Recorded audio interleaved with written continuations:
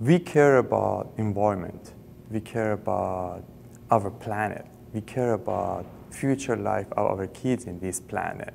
So we should be using more sustainable materials, green, natural materials. So what we've been working on is developing functionalized, low density, uh, high porosity cellulosic fiber materials. And these materials can be used in a wide range of applications. Well, because it's based on cellulose fiber materials, it's 100% uh, renewable, it's recyclable, it's all natural. Um, it's really a low cost material. And uh, because it's low density, low lightweight, it can replace things like polyurethane foams, styrofoams, and fiberglass uh, for those kind of applications. Well, the way we make the material is uh, not entirely novel. It's really based on technology that was developed back in the 70s, which used uh, foam, so bubbles and fibers, to create this very low density material. It was really pioneered by uh, Wiggins Teape in the UK and uh, was brought to us by a gentleman, uh, Malcolm Smith, who was uh, the, the, primary researcher for Wiggins Teape. And what we've focused on is really functionalizing that material. The process we use uses a microbubble foam to position and suspend the fibers into a unique cellular structure. That structure not only has unique properties, but actually can revolutionize the products that use this material.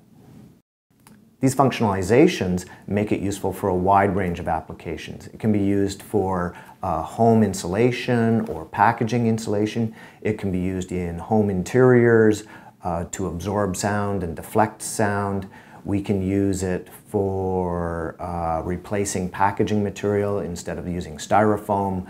We can use it as filtration media. We can use it for uh, soil reclamation. There's a whole bunch of different uh, applications we can aim this material for. These functionalized materials can be used in a range of industrial sectors. This includes construction, packaging, remediation, and biomedical applications.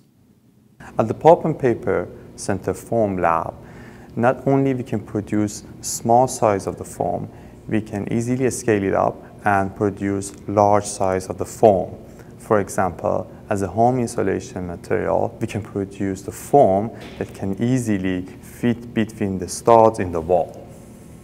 This is totally green and solvent-free process where we have full dispersion of the pulp fiber in the water, followed by mechanical mixing, applying the shear forces in the presence of tiny amount of the surfactant.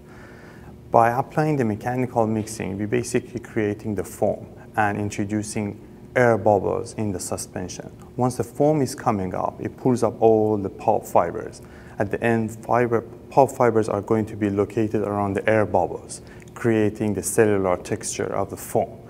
But at the end, the drying technique is very important, which we have created low-cost drying technique to maintain the foam structures.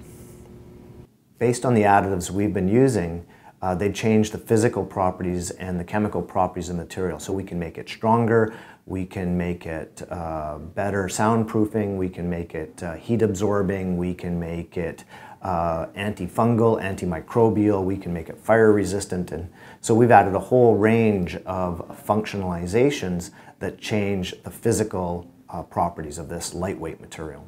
We've been uh, focusing on uh, functionalizing this new material using different additives and expanding the property space of this material. What we'd like to do in the future is we'd like to focus uh, on particular product attributes of specific interest to our partners.